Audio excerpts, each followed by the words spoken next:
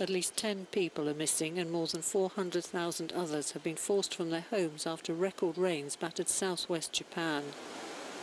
In Fukuoka Prefecture, on the island of Kyushu, more than double the amount of rain normal for July fell in just nine hours. Some 7,500 rescuers, including police, firefighters and soldiers, have been mobilised to help with evacuations.